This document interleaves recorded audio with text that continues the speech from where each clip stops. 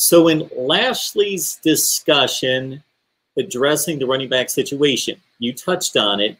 Does it sound as though he believes that they can't go into the season with some kind of committee approach that he really wants a number one back? He wants somebody to take the majority of carries because it's harder to get somebody in a rhythm if you keep rotating. You know, and I think with having somebody who's in a rhythm, uh, and from what he said, that would be a beneficial addition for the offense. Now, if you look back to SMU when he was there, he had guys who were like, you know, number one in carries, and then there were uh, there was a clear gap between two and three and four, uh, including probably your quarterback somewhere in there. Um, you know, just with scrambles and running around. But yeah, you know, when you have a guy to lean on, you know, different guys run different ways. So in the ways that they work with the offensive line and they read those blocks and hit those holes and work together, it's a symbiotic relationship. So when you keep changing one of those components, even if you have the other thing being constant, you're going to have a different product.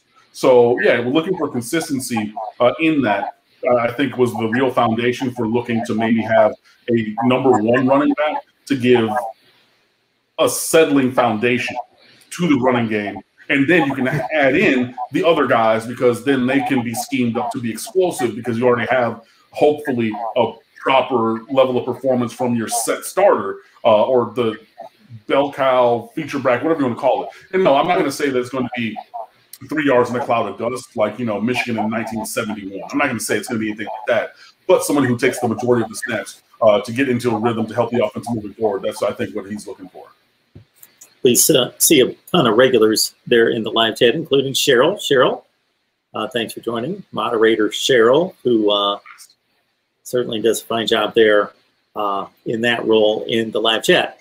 So, Sam is asking about Xavier Restrepo, and uh, Cam gave a very fine dissertation on the show last week, um, yeah. kind of tying that um, analogy of Major League Baseball to Restrepo any oh, further oh, yeah. thoughts on that? We the, we the understand player here all the time to hear that. Yeah, the four A player comparison to Mike Hessman uh, from the Toledo Mud Hens, famously. Yeah, yeah. But I mean, Restrepo, he's a guy who can play, man. He's a gamer. He's a scrapper, uh, and he works really hard. He's uh, you can tell that he's bigger from hitting the weight room and everything.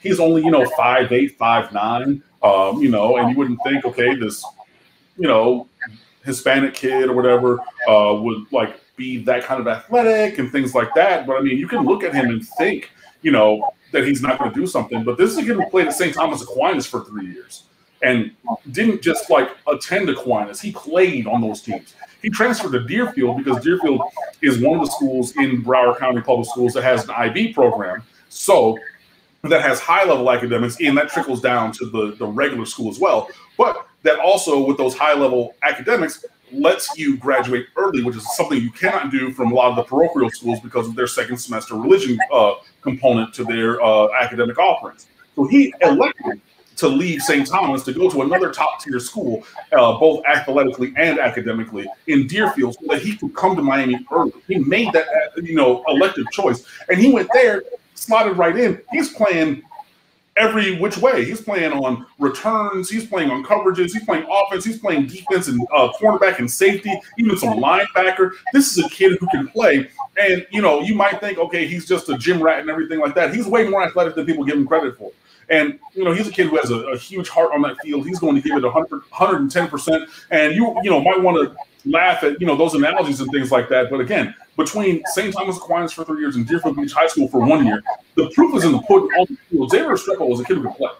So yeah, I you know did make the analogy last week that he seems to be maybe a four A player right now as a second year true freshman.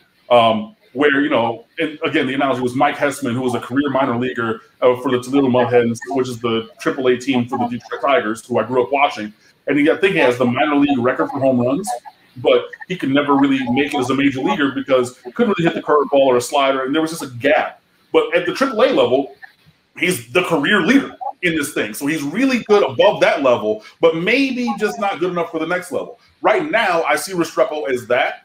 He's better than the backups, and we need to see if he can hack it with the starters. Because yeah, I think that all his numbers that he had from that scrimmage came against the second and third teams, which is great seven catches for 144 and two yards. So he's a class above those backups. I need to see if he can actually fit in with the starters. But he's a kid who I think is definitely going to have a role here moving forward. And, you know, I know everybody wants to have the day one all stars who you know step foot on campus and they're everybody's all American. It takes a little bit, you know what I mean. And I know that he might not. I know that he was a, a polarizing figure in the world of recruiting when we decided to take him. But remember, Braxton Berrios didn't come in as a freshman All American. He was a you know a great program player. He's a punt returner. He ended up being a foundational guy in that offense, but it took him a couple years into the middle end of his sophomore year, into his junior year, to really step up into that starting rotation. That could be the progression with Restrepo. You know that, or even better. Uh, you know, but we'll see. But I, I, definitely think, as of right now, he's at the, a minimum of four A player uh, and hopefully he's able to elevate into being a really contributing player uh, towards the top of the offense. And if, if, all the reports from practice are coming out, he could easily be in that, you know, fifth, sixth wide receiver kind of thing, which is you know one or two off the bench in that area. It's it's, it's very possible for him, but we got to see him. I want to see him be able to do those same kind of things against the number one defense that he's done against the twos and the threes so far. There's a number of steps that you guys can take to help uh, build the channel, build the show in particular. Hit that like button on your way in, get it done, get it over with, uh, then settle in to watch the show and uh, participate in the live chat, of course. Uh, share these videos out on social media. All of you, I'm guessing all of you, the reason you're here is you enjoy uh, the discussion, the debate, the analysis, and in particular, Cam's insight. So share the videos out on social media and keep in mind that the super chat is available and uh, your individual contributions matched with uh, what we can possibly do in the future in regards to sponsorships will help us uh, keep going here. I got a question in on the wide receiver rotation, which I'm guessing is going to be a much easier question for you to answer once you see the spring game. Yeah, uh, honestly, well, it's it's still shaking out, but uh, the two constants that I guarantee you're going to be at the top are number three, Mike Harley, and number 11, Charleston Rambo. That's going to be uh, the foundation of the passing game, uh, at, at, least at wide receiver, those two guys. Uh, you know, you got Keyshawn Smith, who's looking to make a step forward. You got uh, Michael Redding the third. We already talked about Xavier Restrepo. Uh, you know, you have, you have, you have lots of options. Um, I'm interested interested to see what happens with um, Mark Pope and Dee Wiggins because we haven't really heard anything from them or about them during the spring. Um, it's been like one little clip here, one little clip there, uh, but not too too much. But you know, all the talk of these other guys is great, and I think that they've earned it, uh, and it's it's worthy for them so far.